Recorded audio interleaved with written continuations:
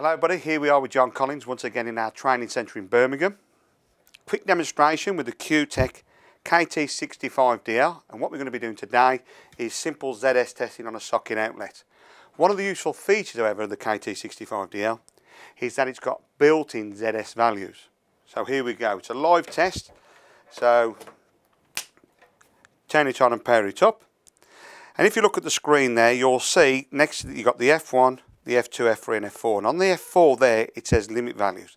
Now we're going to test a circuit that's protected by a 32 amp, a 32 amp type B. And it's important you know what you're testing and you know what system you've got.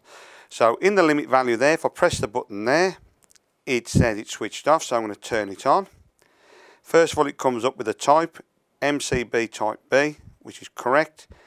The rate in the device, that says 10 amp, we've got a 32, so I'll press the F2 button and it scrolls through until you get to the 32 amp.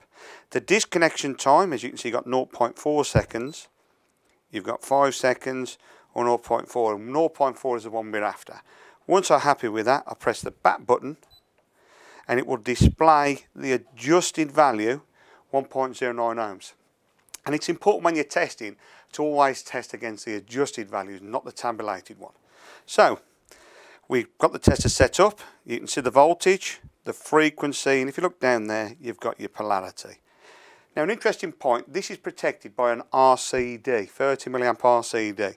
So what it is, on the F2, I've got the ATT, the anti-trip technology, switched on. So that bypasses the 30 milliamp RCD thus not causing it to trip. So I've pressed the button, it is now doing the test, it's going all the way through, there's the value there, 0.39 ohms, and as you can see you've got a little tick there, which means the value is acceptable and you've got your disconnection time. How simple was that? There you have it, using the KT65DL on a loop with the built-in software. Remember folks, Johnny Ace is on the case.